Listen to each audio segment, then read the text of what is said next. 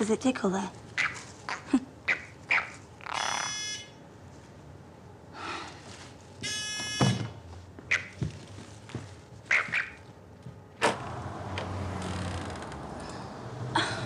what are you doing here? The room. You remember? Don't worry, you'll hardly know him about. Listen, you, um...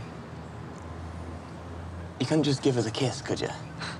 No. I'll give you 20 quid. Oh, what do you think I am? I think you're a person who kidnaps dinosaurs and hides them from the authorities. You wouldn't. Abby? Abby? Hi. Come in.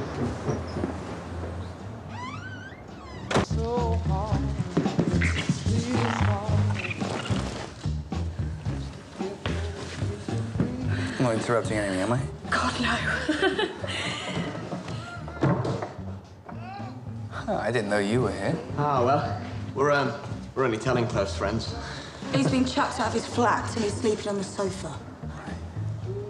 And the underwear? Thermostat, um, It's too hot. it's broken. Nice legs. Thanks.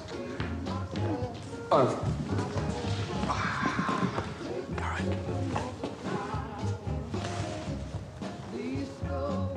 I hate to break up the party, but you better get dressed. Helen's talking.